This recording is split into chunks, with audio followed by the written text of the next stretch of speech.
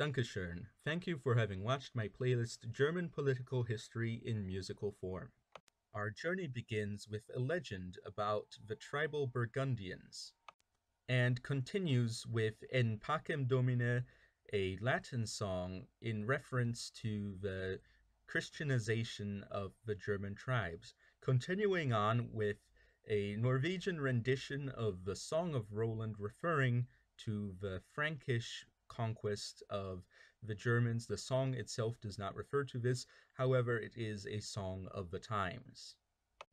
We then continue with some medieval music, including Das Palästina-Lied, referring to the time of the Crusades, and Durch Barbarei Arabia, which was written in the 1300s, followed by Ave Mater O Maria, a song from the same author of Durch Arabia, and referring to the times in which Germany was primarily Catholic and the Catholic faith played an important part in the life of every German. From there, we continue with Florian Geyer's Rebellion and the rejection of the Catholic Church in some areas of Germany and the Reformation with the famous Eine feste Burg ist unser Gott. From there, we move on to two songs referring to the Landsknechts that lived around the time of the 1600s and the Thirty Years' War, which was a brutal war between the Catholic and Protestant forces of Europe centered around Germany, in which a large portion of the German population died. After which we go with the famous poem Prince Eugen, which refers to the Prince Eugene of Savoy, who fought against the Ottoman Turks who were invading Europe.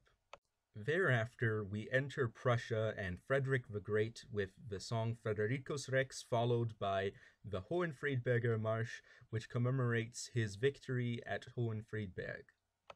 From there, we are reminded of the power of the Holy Roman Empire with its anthem that came out in the late 1700s, followed by a song reminding us of Napoleon's dominance over the German lands with the Confederation of the Rhine during the Napoleonic Wars.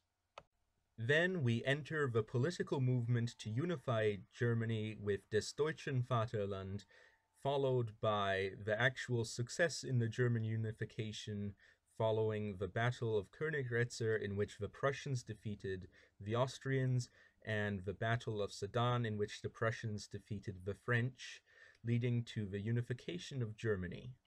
Thereafter, we move into the German imperial period, followed by the Weimar Republic, signified by the Deutschlandlied that became the national anthem during the time.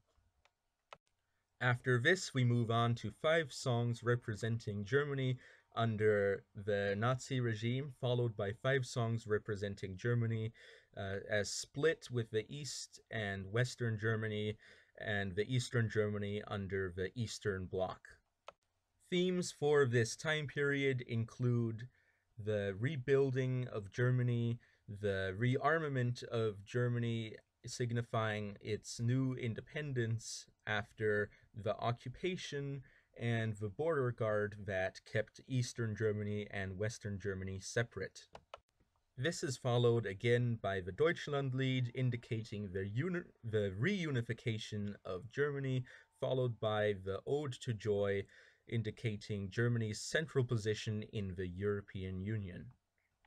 I thank you for having taken this journey through German political history in musical form along with me, and I hope you enjoyed it as much as I did.